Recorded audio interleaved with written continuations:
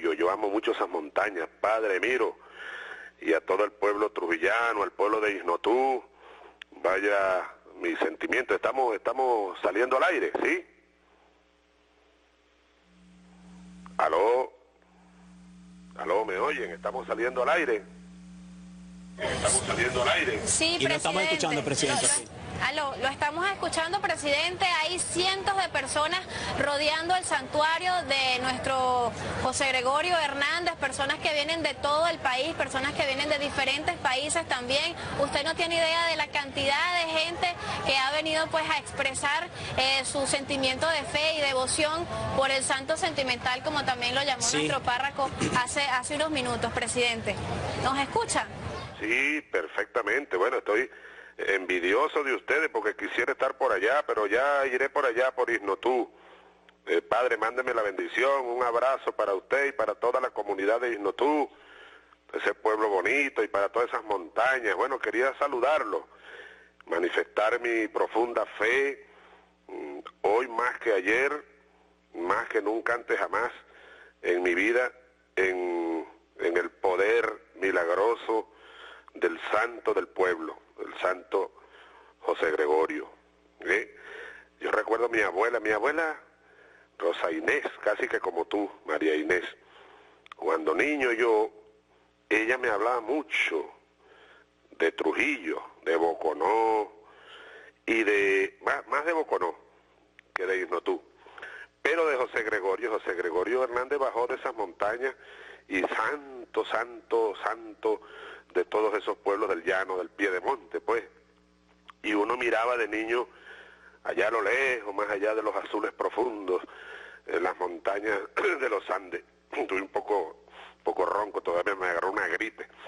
Bueno, y hoy más que nunca recordando aquellas raíces, aquella fe de aquel humilde hogar donde nací en piso de tierra, bajo techo de palma, ¿eh? y, en, y en calles llenas de, de, barro por estos días de invierno, en la sabaneta, a orillas del Boconó, que baja de esas montañas.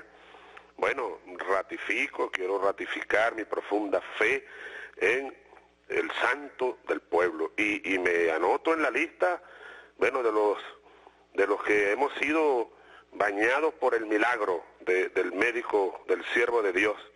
Me siento allí, Padre, en esa legión, esa legión de, de hombres y mujeres que vivimos gracias a los milagros, porque en verdad lo mío ha sido una especie de milagro que gracias a Dios, al Cristo, a José Gregorio y a esta fe y a esta fuerza de vivir.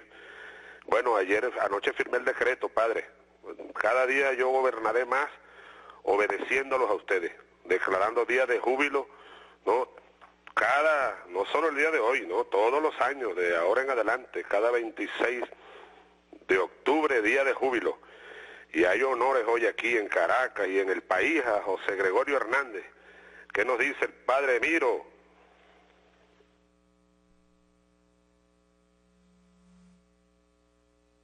Gracias por aceptar la propuesta, la carpetica esa que le entregué en Miraflores ese día, no sé si lo recuerda, pues de ahí salió todo, ¿verdad? Y Dios lo bendiga, gracias a la Asamblea Nacional. Le informo que hoy los millones de votos amanecimos de fiesta. Aquí, bueno, estamos amanecidos en Inotú, la fiesta fue toda la noche. Este, pues bueno, muchas bendiciones. Eh, estamos aquí dispuestos a apoyar en todo lo que se pueda. La casa está disponible, caben más de 100 personas en el santuario.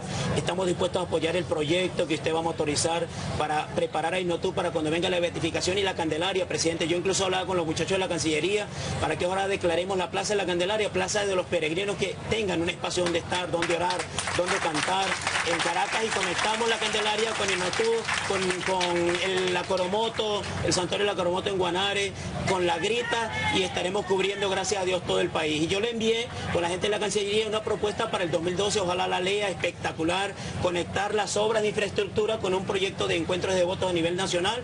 El día que quiera vamos para que lo conversemos porque yo sé que va a ser un proyecto de transformación de la mano de José Hernández, del país, de los millones de votos de nuestra patria. Bueno, el abrazo inmenso, presidente.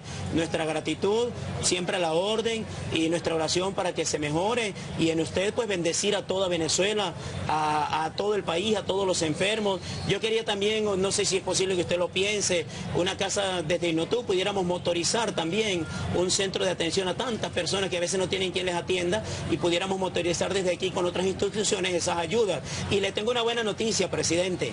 Hoy estuvo el gobernador aquí, están los alcaldes y ahora Inotú se convierte en un lugar de encuentro, de reconciliación, de trabajo en equipo para el Estado y para el país. Le tengo esa buena noticia, usted sabe de qué estoy hablando y bueno, vamos a tener pronto un almuerzo aquí de todos los alcaldes con el gobernador para unirnos en un trabajo por José Hernández, por la beatificación y por el desarrollo y progreso del Estado.